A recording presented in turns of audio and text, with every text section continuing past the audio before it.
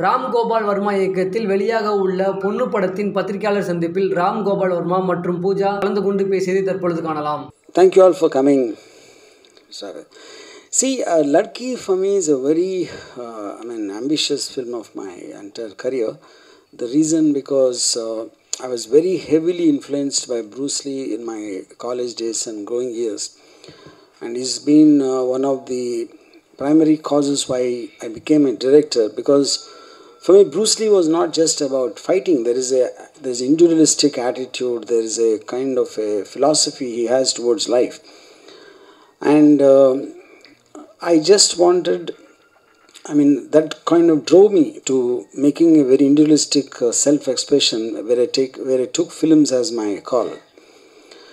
And then I never really had a thing that I want to make a martial arts film. That's because uh, India really doesn't have a culture of martial arts that much uh, uh, at the time. And uh, but uh, it always was the back of my head. So when much later after I became a director, I kind of seen. I mean, the later day martial artists after the death of Bruce Lee, like from Donnie Yen to Jackie Chan to various others came Jet Li, Tony Jaa.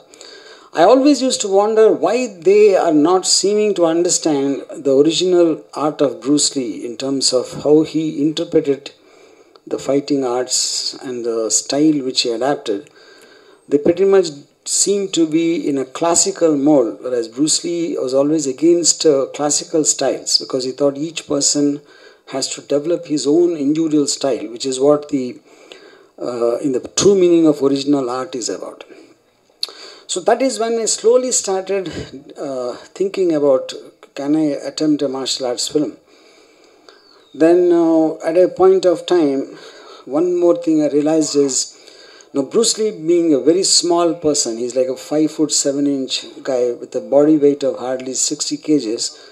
But on screen, he made me believe he can beat up people twice his size and multiple of them, and it was very believable. I think uh, a, a, a, kind of a combination of the rage in his eyes and the fury and the speed and the agility and the extraordinary body he has. So then I thought, why not take it a step forward and make it into a girl? Because the whole point is a weak person cannot, and a girl is weaker, as uh, generally believed. So that is when I fixed up uh, the uh, basic plot line to be a female centric martial arts film. So, like I said earlier, it was very difficult even to get a male martial art in India. So, female though it was much more tougher, but uh, finally, at a point of time, I managed to get uh, Pooja's contact, and she happens to be a taekwondo champion and took part in many national and international tournaments. And then once I met her, I got her trained in Jeet Kune Do, which is the Bruce Lee style. Yeah, that's how the whole journey happened. And after that, I sent uh, the footage to a Chinese company, and uh, they were very impressed with Pooja's skills, and that was kind of really surprising because China is the motherland of martial arts. Like every greatest artist in China, from Bruce Lee onwards, came in came from China. So them being impressed with the Indian martial artist like Pooja was a huge uh, this thing for us. So that's when it became Indo-Chinese co-production, and uh, then lots of things. And we've been shooting for the last uh, three years, but due to the COVID thing and various other related issues, it got delayed. And finally, we're looking for a simultaneous release date. Incidentally, it is releasing on July 15th in China also in more than 40,000 screens. And so for me, it is a very special film because I started my journey going on a cycle in Hyderabad to a theater to watch Enter the Dragon when I didn't have money to buy the ticket. And now, what inspired me in that theater in Hyderabad, I managed to take that and convey in a certain film called Ladki, which is releasing in Bruce Lee's homeland in 40,000 screens. I think it's probably the greatest emotional high I've had in my career so far. Thank you. Vanakkam. I want to thank you all for being here today. uh, I'm, I'm I was extreme extremely excited when you know uh, we were coming here to visit Chennai, and uh, uh, this is my I think second third time visiting this beautiful uh, city.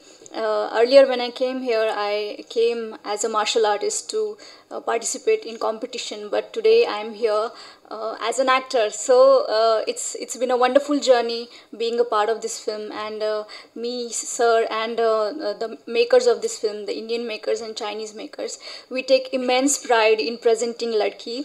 So as sir mentioned earlier, that we are uh, we are releasing this film in China in 40 40,000 screens, and uh, overall counting is 47000 and uh, still going up and up every day. So i think uh, for a newcomer uh, it's it's uh, like a dream come true thing happening for me. And uh, sir is a dream maker. He has introduced so many actors uh, uh, musicians and uh, directors in this industry. So you know as, as a fangirl of rgv sir working with him on his dream project it's it's been a, a like life changing journey for me.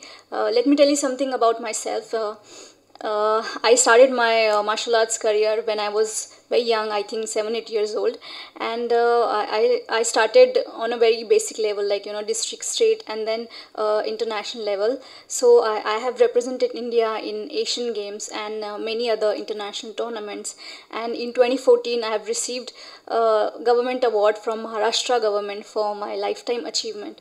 So after this award, my father wanted me to uh, do a regular job in uh, in a government office or somewhere or become a policeman.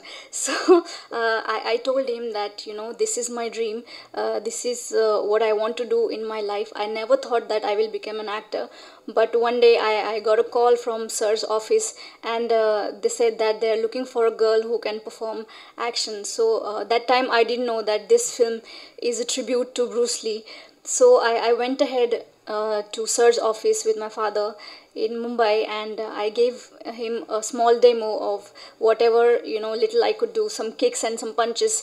And uh, Sir loved it and he said uh, I think my search for Ladki uh, ends here with you. And uh, uh, okay you have uh, 14 years of experience in Taekwondo but this film is about Bruce Lee and his fighting style. So I want you to specifically train in Jeet Kune so from there we started from there I started learning Jeet Kune Do.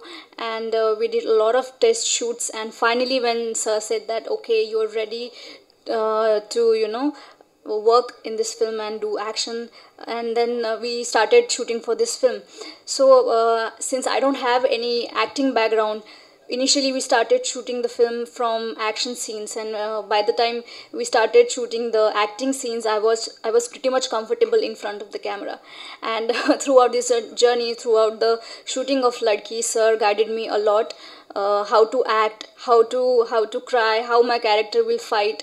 Uh, regarding everything the intensity on my face everything uh, was explained to me uh, very beautifully and very uh, you know amazingly by sir. And uh, it was clear in my head that uh, you know I, i'm playing a fangirl of bruce lee. But in real life i'm a, I'm a fan of bruce lee and rgv sir as well. So uh, it was an amazing opportunity. And plus uh, there was some uh, burden or responsibility was there on my shoulder that uh, we are playing paying a tribute to such legendary action action figure that is Bruce Lee. So that thing was in my mind that there will be a lot of pressure, but positive pressure. So uh, I've I've given my best. I feel I've given my heart and soul to this film, and I want everyone to you know uh, come to the theaters on 15th of July and uh, please watch this film. I'm I'm sure uh, it will be a wonderful experience, and you guys will love the film.